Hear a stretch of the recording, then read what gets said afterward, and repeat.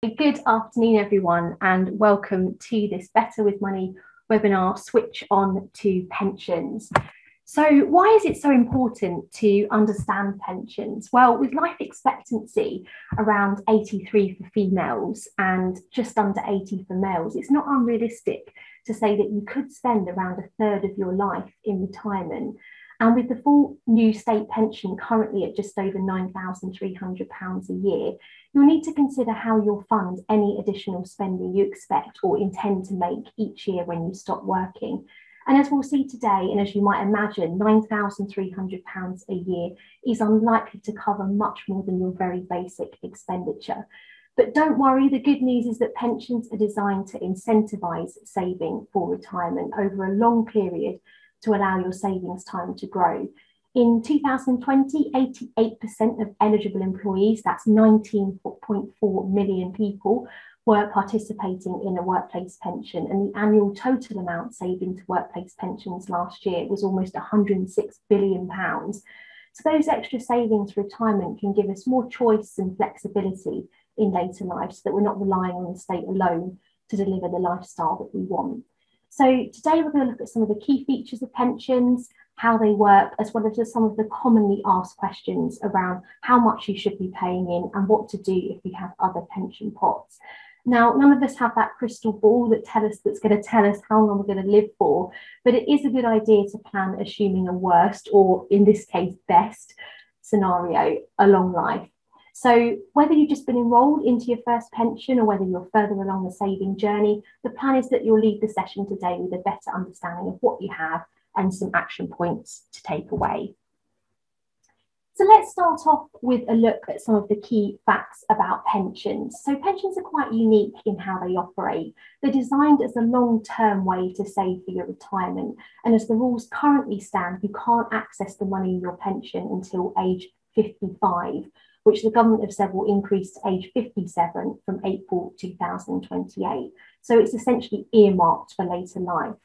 So by paying into a pension, you're effectively giving up disposable income now in exchange for money in the future. But there are a few key incentives to help make giving up today's income that little bit more bearable. So, firstly, the government gives full tax relief on your contributions, which means that some of your income that would have been paid in tax goes into your pension pot instead. And we'll look at tax relief in a little more detail later on. Another huge incentive and big change was the introduction of automatic enrolment legislation in 2012. So, auto enrolment made it mandatory for employers to put you into a pension scheme and pay a minimum contribution on your behalf, provided you're over age 22 and earn more than £10,000 a year. And as the end of March 2019, over 10 million more people were saving into a pension compared to eight years ago as a result of being automatically enrolled. So from around 40% of employees, so two in five, to the 88% stat that we just heard. So that employer contribution is effectively like a bonus. It's money on top of your salary. So you should always think twice before opting out of your pension, workplace pension scheme. Another huge incentive is the 25% tax free cash that you can take from your pension. And this can be even higher for some older style pensions. So do check with the provider how much you're entitled to. In April 2015, the government increased the flexibility we have when taking our pension pots at retirement, which effectively means that we could get our hands on all of it if we want to from age 55. 25% is tax free, but any money we take above that is taxable like normal income. So, not necessarily a good idea to take it all in one go. So, for example, a £100,000 pension pot, typically £25,000 can be taken tax free, with tax then applied to the remaining 75000 as and when you take it. So if you did take £75,000 in one go, assuming no other income, this would take you into the higher rate tax bracket, meaning you'd be paying 40% tax on some of the income, not just basic rate at 20%. So it is something to think about. Now, this flexibility was introduced to apply to defined contribution pensions, which is the type of pension that we'll be focusing on today. Some of you may also be in a defined benefit pension or final salary pension scheme, or have been in this type of scheme in the past. These types of schemes guarantee a retirement income based on how long you were in the scheme and your salary during that time.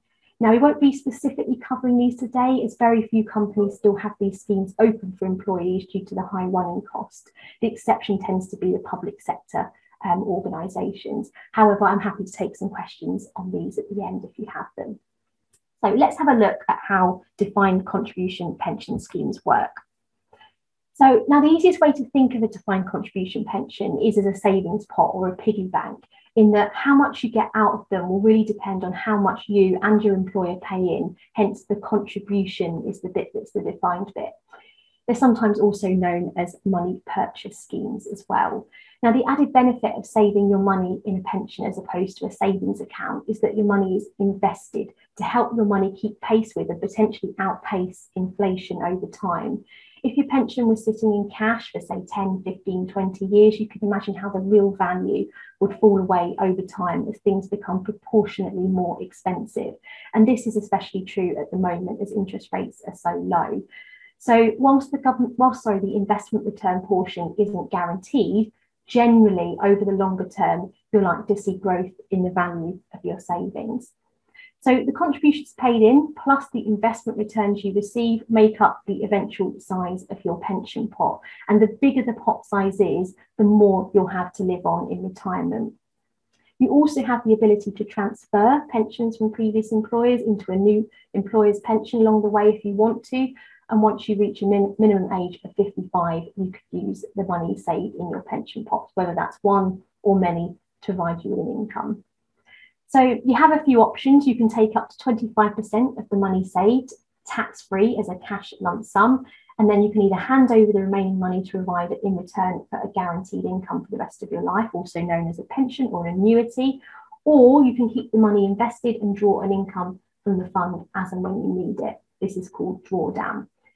So your pension provider will write to you with your options available as you approach your selected retirement age. However, if you get to that age and you want to keep the money invested, you can do so. So now we've looked at how they work, the next question you might have is, well, how much should you be contributing to your pension? Well, of course, everyone's circumstances will be different. There's numerous factors to consider when trying to answer this question, including the age at which you start saving, how close you are to retirement, and of course, affordability of contributions. I will stress that affordability is important. Don't leave yourself out of pocket and try to find a balance between living for today and saving for tomorrow. Now, a sensible place to start when deciding how much to pay in is to consider what sort of lifestyle and therefore income you're aiming for in retirement. Now, most of us will aim for roughly two thirds of their pre retirement income, assuming that housing costs such as mortgage repayments have ceased at this point and wish to continue with a similar standard of living into retirement. But you may have a different idea as to how you see your lifestyle once you stop work the figures shown here produced by the Pensions and Lifetime Savings Association, which are after direct taxes have been taken and assume no rent or mortgage costs, show the cost of retirement at three different levels to help you benchmark against based on your needs. Roughly speaking, a single person will need around £11,000 a year to achieve the minimum living standard, so a relatively frugal retirement just under £21,000 a year for moderate and just over £33,000 a year for comfortable. So that's the difference between one week holiday in the UK, two weeks in Europe each year, or three weeks. And for couples, the figures get adjusted to around 17,000, 31,000 and 50,000 at each level respectively. Most recent government data from 2020 shows the average weekly income for all pensioners to be around £331, and that's after you take in direct taxes and housing costs. This works out at around £17,212 net per year. So that will place the average somewhere between minimum and moderate retirement income. Don't worry, you're not alone if you're not sure what you're aiming for. Um, according to research by the same association, 70, 77% of savers don't know how much they'll need in retirement, and only 16% of savers can give a figure. But there are tools to help you plan based on what you're spending today and what expenses might continue on into retirement. And don't forget to factor in the state pension as well, which can really help along to achieving your retirement income. So we'll have a little look at this next. For many, the state pension will represent a very important building block in retirement provision, essentially the foundation of retirement income. For the 2021-22 tax year, the full new state pension is £179.60 per week or £9,339 per year. The exact amount that you will get depends on your national insurance record, with 35 years needed to get the full amount and at least 10 years to be entitled to any. Within these amounts, you'll receive a proportion of the full amount. For instance, 20 years would entitle you to 20 35ths of the full amount. You can build up your national insurance record in numerous ways, most commonly by paying class one national insurance contributions for those employed or class two for those self-employed. And you can also build up credits towards your record when claiming certain benefits, such as child benefit for a child under 12. So being out of the labour force doesn't necessarily mean gaps in your record. You might be aware the state pension system changed in April 2016 with the new system we now have designed to be simpler to understand your entitlement. But anything you've built up under the old system prior to this date, which had numerous different elements to it, will still be accounted for. In some cases, you can actually get a slightly higher state pension than £9,339, known as a protected amount. And if this is the case, you won't be able to build up any more state pension. Your state pension is also increased if you decide to defer it beyond your beyond your state pension age, currently by the equivalent of 1% for every nine weeks that you defer. So that works out just under 5.8% for every 52 weeks. So worth considering for those perhaps looking, continue, looking to continue working beyond state pension age, as this return is much higher than you'd get investing the same amount in a bank account. The Department for Work and Pensions predicts that between 85 and 90% of people reaching state pension age will receive the full new state pension amount. But rather than leave it to guesswork, you can go online using the links shown here. So first you can check your state pension age, which has been equalised for males and females and currently stands at age 66. It also has some further planned increases with those born after 6th of April 1978 due to hit their state pension age at age 68. Unfortunately, this is due to the rising cost of the state pension as we're all living longer. You can also check your state pension forecast to see if you're on track for the full amount. I will point out that your forecast is likely to be more representative the closer that you are to your state pension age. If you are contracted out at any point in your working life, you may see your qualifying years being lower than expected. Being contracted out meant that you opted out of part of the state pension in return for lower national insurance contributions or a contribution to a personal pension instead. And this was relatively commonplace for employers to arrange, particularly in the public sector. If in doubt, you can contact the gov.uk helpline at the number shown. So now you've got an idea of what the state might provide. You can think about the shortfall between that and the income that you want in retirement, which you'll need to fund yourself. This Money Helper pension income calculator, which you can access via the Better with Money website, can give you an idea of what pension pot size and income you're likely to get based on current contributions and allows you to see the potential in impact of, say, a 1% or 2% contribution increase on your final pension income or changes to your planned retirement date. The calculator also factors in the state pension and any other pensions you've built up. So whilst assumptions have been made, have been made around investment growth and inflation, it should give you a rough idea as to whether what you're paying in is enough. Your annual pension statement, which will come to you either via post or email from your pension provider, will also contain projections. So make sure that you look at this when it arrives rather than putting it in that classic pensions drawer that we all have. Um, and these should be slightly more representative as they are based on where your pension pot is currently invested. Your state pension age might not coincide with when you're actually looking to retire. So do consider this when looking at projections and how you might bridge the gap. So let's look now at contributions. Um, as I mentioned at the start of the presentation, auto enrolment brought in rules around minimum contributions in 2012. So your employer must pay in at least 3% of your earnings between £6,240 and £50,270 with a total of at least 8% of those band earnings paid in overall. Some employers will pay more than 3%, but you're expected to make up the difference between what the employer pays and 8%. A lot of employers pay a percent of basic salary rather than those band earnings just to make things a bit simpler. So check your pension booklet or information to see what happens at your company. Remember, this is just the minimum required under the rules. It is only intended as a start, and you can pay in more if you wish.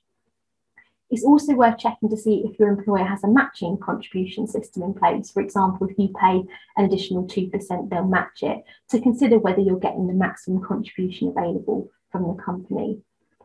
If you're a long way off retirement yet and aren't sure what sort of income you're aiming for, a very general rule of thumb is to pay in half your age as a percentage, and that's across both yours and your employer's contribution. But remember, affordability is key. So just to finish off this section, let's have a quick look at budgeting. So it's a good idea to budget for pension contributions to work out what's affordable. Now, saying that for many pension contributions just will happen in the background, and you should be able to find the level that's comfortable for you and doesn't require any drastic changes to your lifestyle. If you increase contributions at the same time as pay rises, for example, you may not actually feel them at all. So to give you an idea, someone at age 25 on a £25,000 salary, giving up just two takeaway coffees a week from somewhere like Costa, would allow them to put in an extra 1% into their pension instead, accumulating to a pot of nearly £10,000 by state pension age. This budget planner, which you can also find on the Better with Money website, will allow you to break down your monthly outgoings and work out whether extra pen pension funding is affordable. So do take some time to work through and remember, try to find that balance between living for today and saving for tomorrow. So I said earlier that one of the incentives of saving into a pension is that you get tax relief on your contributions, which is given at the rate at which you pay tax. So if you're a basic rate taxpayer, you, you pay 20%, sorry, you get 20% tax relief. And if you're a higher rate taxpayer, 40%. Now, there are a couple of different ways this can happen, but a common method is what's known as relief at source. This is where your pension provider claims back the tax paid on your contribution from HMRC and adds that amount to your pension. So, from your point of view, it's like receiving a bonus and everything you save. If you're a basic rate taxpayer, there's nothing left for you to do as your provider has claimed back basic rate tax at 20% on your behalf. However, if you're a higher or additional rate taxpayer, you will need to claim back that extra 20 or 25% from HMRC. If this is the case, you can either complete a self assessment tax return and claim via the pension contribution section, or you can contact the local tax office, sending them a schedule of contributions for your pension scheme, which you can ask your provider for, stating that you've been paying tax above basic rate for X period and believe that you're entitled to further tax relief. HMRC will usually go back up to four years in respect of unclaimed relief. So anything before then may well be lost. The link here um, gives further details on making a claim and also links to information about the various pension allowances. To put tax relief into graphical format, this slide shows the effective cost of making a £100 contribution, depending on whether you're a basic, higher or additional rate taxpayer, assuming all of your contribution sits within the relevant tax band. So a £100 pension contribution effect effectively costs a basic rate taxpayer £80, as this is what would come off their post-tax pay. Pension contrib contributions become even more tax effective for those on higher incomes, as you're saving more in tax when you pay in. There are restrictions on tax relief placed on very high earners, however, so have a look at the link just provided for some further detail on the various allowances. Many employers have introduced salary exchange or salary sacrifice um, for pension contributions. So rather than your employer pay you your full salary and then deduct your pension contribution afterwards, with salary sacrifice, your employer deducts the pension contribution first and then pays it to the pension as an employer contribution instead. The advantage of this is that because the deduction is a genuine reduction in your salary, neither you nor your employer need to pay tax or national insurance contributions on that portion of salary given up. Another advantage is that all tax relief happens automatically, whatever rate you pay, so nothing further needs to be claimed. However, as this is a perceived reduction in salary, it could affect things like mortgage applications. So just check whether salary sacrifice is right for you. Uh, there has been some speculation over the years that the government could remove salary exchange as an option for making pension contributions as the government misses out on all those national insurance contributions. But currently, it's still a perfectly permissible way to save, and most of the largest employers will use this method. Your employer may also offer it, but they're not obliged to do so. So check with HR if you'd like to find out. Right, so now we've had a look at how much you should be paying in contributions and how tax relief works. Let's just have a quick look at investment of your pension pot and where your money may currently be placed. There's no pressure to go making changes to where your pension pot is invested, but I would encourage everyone to at least be aware of where they currently are and periodically check how their investments are performing. So as we looked at earlier, your pension pot is usually invested in stocks and shares to help it grow over time and hopefully at least keep pace with inflation. Typically, you'll be invested in a mixed fund, which holds lots of different stocks and shares, not just one company, just to help spread the risk. Typically, the further away you are from retirement, the more risk you can afford to take. And by risk, I mean putting your money in those assets which are generally more volatile and likely to fluctuate over time, such as shares in companies, but typically provide higher returns over the longer term. As you can't touch pensions until you're 55 anyway, currently, they are long term investments and you have longer to ride out those market fluctuations. Those with a lower appetite for risk or closer to taking their benefits may wish to consider lower risk funds over the short term, such as government bonds, also known as gilts. This is so that their pot value is less likely to change as much in the short term, which is particularly important for those that assume to take their benefits. Now, as individuals, you will all have very different circumstances and attitudes to risk. So it's important to look at the funds available and what they're made up of, Fund fact sheets, usually available via your provider's website, are designed to break down all the important details of the investment. If you do decide to do some switching, always check the charges of the fund you're switching into, as over time these can really eat away at the value of the fund. And make sure that you're reviewing your pension at least every six months or so. So along with auto enrolment, the government made it mandatory for pension schemes to have a default investment fund, which is regularly monitored.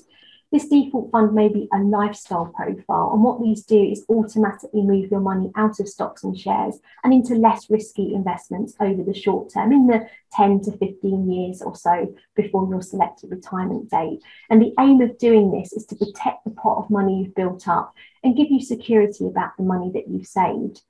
It's really important to keep your scheme up to date with your selected retirement age so that the funds are not switched too early or too late. And remember, you have the option to move out of this lifestyling arrangement if you wish, or indeed to a different lifestyle profile if your scheme offers a selection.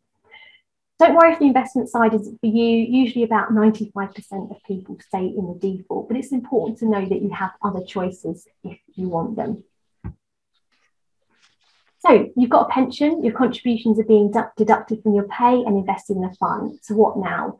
So I thought I'd put together a checklist of considerations and action points for you to work through. Now, obviously, the further, the obviously, the earlier we start saving, the better chance we're giving ourselves for a higher retirement income due, due to years of compounded savings.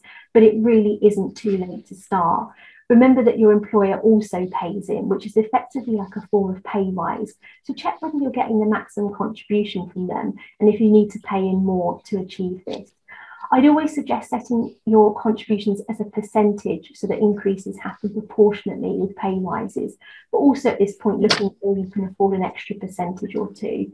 You don't feel increases quite so much this way. And if you're paying tax above basic rate, check whether you can claim back more tax relief which wouldn't get paid, uh, which sorry, which would get paid directly to you. Now, I can't stress enough the benefit of getting yourself registered for online services. A bit like online banking, almost all providers now offer this functionality for free, which allows you to check your fund value, how your fund has performed, and to update your personal details, such as your address.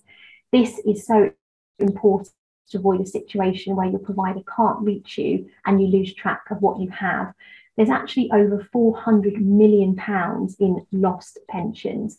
And whilst there are things you can do to track them down, it's so much easier to keep your information up to date so you can always be contacted. If you have lost track in the past, you can use the pension tracing service, and we've shown the website here. Finally, consider other sources of income in retirement and whether any of these could be moved into your pension to take advantage of tax relief. Some decide to look at this as they approach retirement and are starting to get a truer picture of likely retirement income. At this point, you may wish to speak with an advisor to help you plan. So if you do decide to take advice, make sure this is from someone reputable that is registered by the Financial Conduct Authority. There is a tool called Unbiased that you can use to search for advisors by location. It's not uncommon for advisors to offer a fee, free financial health check or initial consultation, which can also help you work out whether they're a good fit for you. Your pension provider may also give you the option to access up to £500 from your pot to pay for financial advice. This is known as the pension advice allowance. And you can do this once a year up to three times without a tax charge, but not all pension schemes provide this. So just have a check as to what yours offers. So lastly, here's a couple of links uh, to some useful sites to get guidance on your pension savings, including the Pension Wise service, for impartial guidance to those aged 50 plus. Remember, this won't be advice, but it should help with setting out your options as you approach retirement. Lastly, please remember the, the, fantastic services offered by the ICE Benevolent Fund and the Support Network who've sponsored the webinar today. They can provide financial, workplace and wellbeing support to you and your families. And I put their website and helpline numbers here so you can find out more. So that's all from me, Sarah. Have we had any questions? Thank, Thank you. you. Hmm?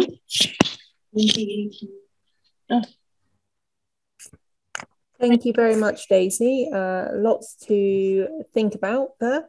Uh, we have had significant numbers of questions, so we will only be able to address a couple live, uh, but we will send out a Q&A document to address the other questions when we send out a recording. So first of all, Daisy, speaking generally, if my company offers both a defined contribution and a final salary pension scheme, which one is usually better? Gosh, there's a question. Um, so they're very different. Defined contribution pensions and defined benefit pensions are very different in how they operate. Um, you might find you haven't got the luxury of choice. Um, as I mentioned earlier, a lot of um, employers are either closing final salary schemes or not offering them because they generally can be a little bit more, well, a lot more um, expensive to run. So you may not have that choice. Um, if you do, it will depend on your circumstances because the way in which they operate is different. So, a defined benefit pension, so not the sort of pension that we've been talking about today, provides you with a promised income in retirement. So, it doesn't offer the same flexibilities. However, it is that guaranteed income, which, you know, if you had a pot of money and didn't secure yourself an income with, you wouldn't necessarily have. There's also certain benefits that can be paid out to your spouse um, and in the event of death as well. Um, and you don't have to worry about any of the investment um, options or anything like that. It's all taken care of for you.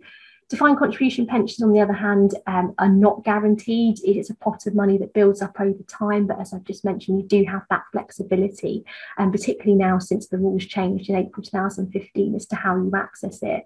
So it's quite difficult to answer and without obviously looking at your, your personal circumstances. You could also look at things like contributions. The defined benefit pension might be asking for perhaps a slightly higher level of contribution, not necessarily. Um, but have a look, speak to your employer, look at the, the terms of the, the scheme rules under each, what benefits are paid out, what death benefits are available, if there's any sort of spouses or dependents pension that will be payable under the defined benefit pension arrangement. Something else to consider actually with um, defined benefit is that the um, whilst the benefits are generally seen as sort of uh, more gold plated, if you like, um, and generally you know, because they're guaranteed, um, the death benefits are also not necessarily as flexible. So defined contribution pensions, you can now um, obviously depending on the scheme rules as well, but generally you can leave them to whoever you want.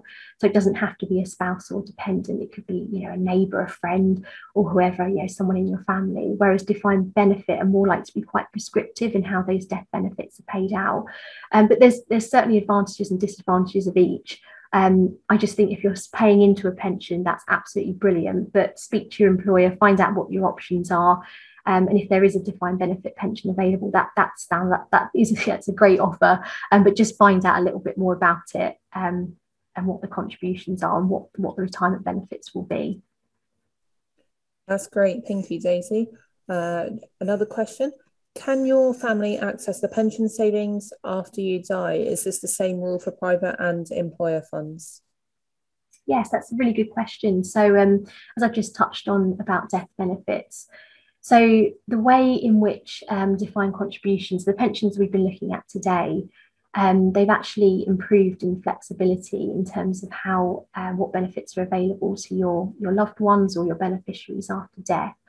So as I explained, generally check scheme rules, but in general you can leave your pension to whoever you want. So it doesn't apply to defined benefit, um, but you can with defined contribution generally leave them to whoever. Um, if you die before age 75, they can be paid out completely tax free. There's a certain rules around the um, the duration in which they're paid out, but generally they can be paid out completely tax free. And then if you died from age 75, it's then taxable at the beneficiary's marginal rate of tax. Now, again, check with the provider and what they offer. Um, but there's nothing to say potentially that your beneficiaries couldn't go into a drawdown arrangement or continue with one if you're already in one. They may be able to purchase an annuity with your fund. And of course, if they are under age 75, they could potentially take the whole lot out tax free if they wanted to. Certain considerations around that, obviously, now being part of the estate. Um, but yeah, there's generally quite a lot of flexibility around leaving your pension. So if you die, if you haven't done anything with your pension savings, so it's still in what's called the pensions arena or pensions wrapper, then it's available for your loved ones to access. This is why it's very important to keep your um, nomination of beneficiary or expression of wish form up to date so that the, the trustees of the scheme or the administrators have something to look at and to go on in paying out your benefits. Um, but yes, so definitely keep that up to date, a lot more flexible, check what's available under the scheme rules. Doesn't die with you, um, but if you have purchased something called an annuity, so that's where you buy yourself an income, if you haven't built in a spouse's option, then that pension could die with you. So that's it, nothing else to be paid. But as long as it's still in the pension, it should still be available for your beneficiaries. That's great, thank you. And just one more question because we have so many and I'm uh, aware of the time is uh, getting on. Uh, how can you check your national insurance record? So, yes, good question. You can go online and do this. Um, so, there's a link that I provided earlier check your state pension. So, if you go to that link, you can, you'd obviously have to register, uh, register and log in via the government gateway, but you can look at your state pension record it'll give you an estimate of what your state pension entitlement is likely to be. Um, obviously, it, it, can be a bit of an estimate, particularly if you're quite far away from retirement, but it'll be based on how many years you have to go to state pension age. If you're relatively close and you do see some gaps, you can then ask how you can fill in those gaps. Um, but you might well have enough years between now and your state pension age whereby you're building up qualifying years anyway. Um, but yes, go online. You can also contact um, via phone as well um, if you don't have the option of going online. But um, yes, get yourself a, a, state pension forecast and that will outline all of the years and um, the contributions and credits that you've built up.